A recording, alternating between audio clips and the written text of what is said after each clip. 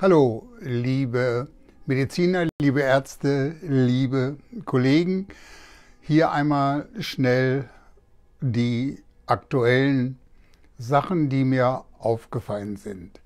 Ich habe in der letzten Woche verschiedene Anfragen bekommen zu dem Thema Wechsel des Bundeslandes.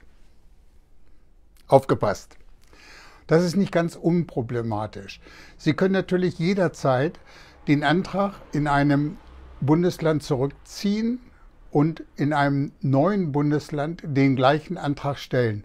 Nur bitte berücksichtigen Sie hierbei, das kann dauern, weil es kann sein, dass die Behörde, die erste Behörde, dann die Unterlagen an die neue Behörde schickt und da vergehen schon mal ein bis zwei Monate.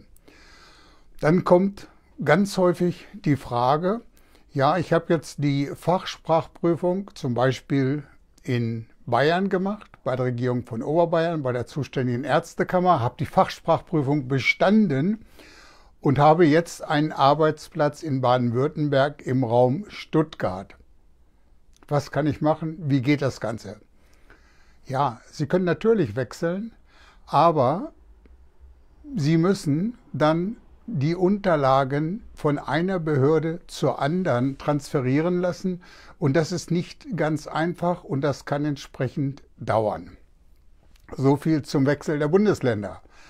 Dann taucht verstärkt die Frage auf, wie lange ist eine bestandene Fachsprachprüfung gültig? Wie lange funktioniert das?